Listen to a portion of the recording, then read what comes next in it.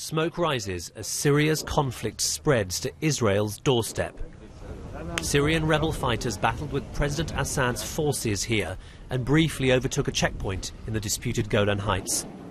Israel moved people away from the frontier as a precaution, another sign of how Syria's civil war is having a growing impact outside its borders.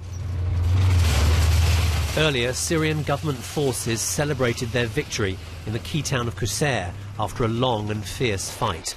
They ousted the rebels and took control of this important point in the supply route for weapons.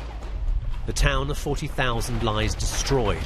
Could this be a turning point in the Syrian regime's war with what it calls terrorists?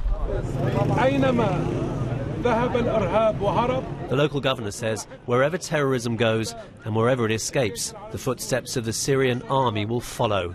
And he says they'll make Syria the graveyard of global terror. Unverified footage shows the ferocity of the battle for Qusair, and spearheading the Syrian army assault were fighters from the Lebanese Shiite militia Hezbollah, armed by Iran.